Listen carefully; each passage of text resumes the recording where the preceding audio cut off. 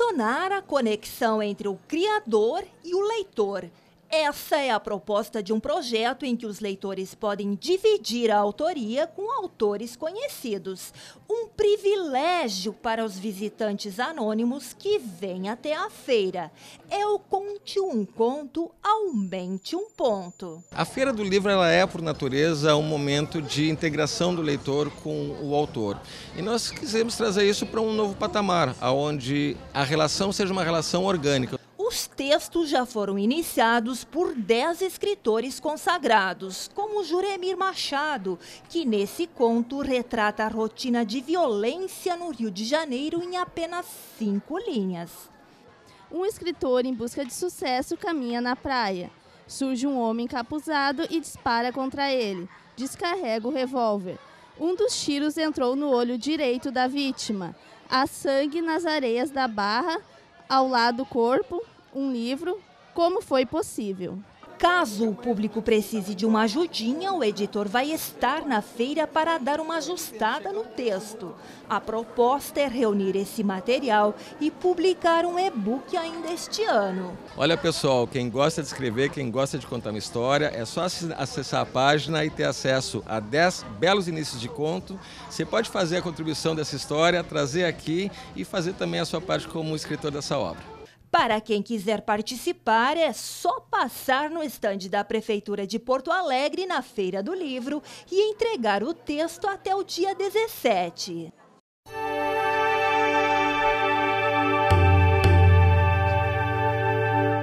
Nesta terça-feira, o sol aparece em grande parte do território gaúcho. A presença da nebulosidade, com alguma possibilidade de chuva leve, pode ocorrer no extremo sul, no centro e no leste. A temperatura foi agradável na parte da manhã, mas esquenta no período da tarde. Em cidades das regiões oeste, noroeste e norte do estado, elas podem passar dos 30 graus. Em Porto Alegre, o dia é de sol e nuvens. A temperatura fica entre 18 e 27 graus. Em Bento Gonçalves, na Serra, a mínima foi de 15 e a máxima chega aos 26. Nas Missões, em São Borja, os termômetros marcam entre 19 e 31 graus.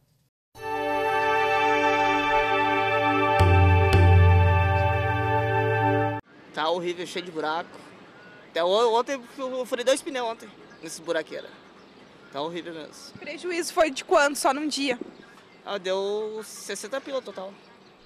E agora mais outro. O terceiro pneu furado na viagem entre Porto Alegre e Ribeira. Já tinha visto ela nessas condições? Não, não. Primeira vez, tô vendo assim. Seu Rogério disse que nunca viu tanto serviço. Por dia, conserta em média 18 pneus, 12 só de carro. Na sexta-feira mesmo deu bastante movimento de carro, né? E de caminhão dá na média de 5, 6 caminhões por dia. Estes aqui são velhos conhecidos dos motoristas. É preciso desviar e ficam bem próximo do posto da Polícia Rodoviária Federal de Pantano Grande. Foram os policiais rodoviários que taparam no fim de semana passado os buracos mais perigosos da BR-290. O chefe da segunda delegacia de Eldorado do Sul, Fábio da Paz, falou que o efetivo tomou a atitude para evitar que acidentes aconteçam. Não temos uh, condições hoje de ter um apoio direto da, do DENIT, né, através das suas empresas terceirizadas, e geralmente eles nos dão esse apoio, mas esse final de semana, semana passada, eles não conseguiram nos atender da maneira como a BR precisou. A ação foi dos policiais de Pantano Grande. A nossa missão é salvar vidas, certo? Então, se precisar tapar buraco para salvar vidas, a PRF vai fazer. Enquanto isso, segundo o chefe, os policiais deixam de fazer as atividades necessárias nas rodovias que são a competência. O seu Léo sente no bolso as consequências da buraqueira. Proprietário de uma transportadora, diz que todo dia sai para a estrada levando peça e ajudando o motorista. Às vezes a gente consegue desviar, mas quando os buracos são muito perto, daí caminhoneiro principalmente não consegue, né? Não consegue não desviar. Consegue. É, esse aqui a recém cortou um pneu por dentro, né? Mas aí o pneu praticamente novo, né? Mas é coisa que acontece. Só que o lucro do frete que ia sobrar, né? Vai no pneu, né? Prejuízo de quanto? Ah, isso é de R$ 1.800. É. Com um pneu? É, um pneu, um pneu, um pneu só, né? Este quebrou mais uma mola. E aqui está o resultado da mola ali também, né? Mola quebrada, estamos consertando mola, mola e pneus. Todo fruto do, da buraqueira ali da estrada. Não estou determinando culpado, mas é, sei que o tempo não ajuda. Mas é, era bom se desse uma olhadinha para a gente também, que a gente já no caminhão pesado aí, daqui a pouco sai da estrada por causa de um buraco, né? A gente não consegue dominar mais. Em um buraco que, segundo este motorista, pode causar acidente grave. Eu agora vinha vindo de manhã mesmo, não consegui desviar. Vinha carro da frente, não tinha como tirar fora. Ele não é o pior buraco da, daquele trecho ali de Cachoeira até aqui, que é onde eu, onde eu passo mais, né? Mas ele é o mais perigoso, que de noite ali um carro pequeno, um carro de passeio pode sair fora para baixo da ponte, porque ele é um buraco em cima da ponte e é um buraco que pode tirar um carro da estrada. Um carro leve pode tirar da estrada. Dentro das possibilidades, a gente vai né, emergencialmente e tenta fechar de alguma forma, ou tapar, ou minimizar o risco daquele local, daquele buraco. Tá? Mas o nosso contato é direto hoje com, a, com o DENIT. Se tu vem com um carro leve ali, ele sai tranquilamente da pista ali. Aí está no meio da ponte, a tendência é cair para baixo, né? Ou bater de frente no que está descendo. Qualquer um dos dois, é, é, o risco de fatalidade é enorme, né?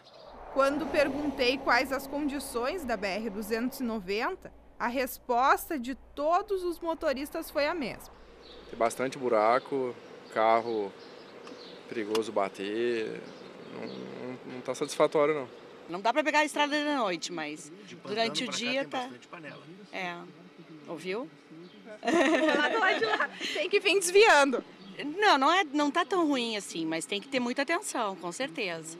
Que tem umas panelas grandes, ali tá rendado, mas durante o dia tu consegue visualizar e andar bem. Acho que de noite com chuva. Nem pensar. Não tem sinalização, aí falta tudo. Nós viemos de Porto Alegre até comentamos, até Butiá ela estava boa. Uma renda pequenininha de Butiá para cá, até Pantano, começaram a aparecer mais buracos. E de Pantano para cá, bem mais. Buraco que não dá para andar à noite. Se andar à noite, vai quebrar uma roda com certeza. Muito buraco, somente pro lado da fronteira ali, né? Eu sei que eu tenho familiares ali, é bem complicado muita panela, agora com essas chuvas, né? Só piora, né? O pessoal chega aqui reclamando. Tudo reclamando.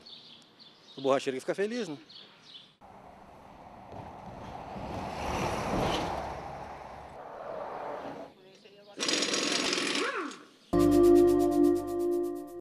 Serviço de saúde aberto 24 horas por dia, 7 dias por semana. A unidade de pronto atendimento de Lajado é referência para casos de urgência e emergência. Ela atende é, livre demanda, então, a todos os usuários, uh, lajadenses ou não lajadenses, né? Uh, o motivo da busca por, por, uma unidade de pronto atendimento, então, ele deve ser uh, em situações agudas, por exemplo, uma dor muito forte, febre repentina, uh, quedas, traumas, uh, acidentes, né? diferença de pressão, muito, uma pressão muito alta, uma pressão muito baixa. Desde julho, a UPA ganhou um reforço. Parceria entre Sistema Único de Saúde, o SUS, Univates e Prefeitura de Lajeado. Práticas realizadas que fazem parte da formação destes futuros médicos. Os alunos de, da medicina na Univa, da Univates, então, iniciaram com um estágio em urgência e emergência aqui na UPA a partir de julho. São alunos de décimo e décimo segundo, a partir do décimo semestre de, univers... de faculdade. Eles estão no que eles chamam de internato, então. Eles passam duas vezes no estágio aqui, sempre acompanhados por um preceptor, que é médico. Então, os alunos nunca fazem o atendimento sozinho, eles iniciam o atendimento, discutem o caso e tomam as condutas sempre baseados no, no médico preceptor que está acompanhando eles aqui. A média mensal de atendimentos médicos realizadas na UPA é de cerca de 7 mil. Destes, 5% realizados realizados pelos estudantes acompanhados dos professores. Isso é uma ajuda uh, extremamente valiosa, né, num, num cenário em que a gente tem 200, em média 250 atendimentos. Nas segundas-feiras, por exemplo, que nós temos 300, 330 atendimentos. Então, 5% deste total foi feito por eles até o momento. Iniciativa que beneficia os dois lados, tanto alunos na formação profissional quanto comunidade com mais médicos à sua disposição. Ajuda para os dois lados, tanto para o aluno com a sua experiência e para nós, enquanto serviço, a presença do aluno faz com que o serviço se, se olhe o tempo inteiro, né? E isso faz com que a gente busque sempre a, a qualidade, né? A excelência no atendimento. Os alunos, a presença deles aqui também faz com que reduza o tempo de espera. Então, essa demanda que eles atendem colabora na redução do tempo de espera também para o usuário.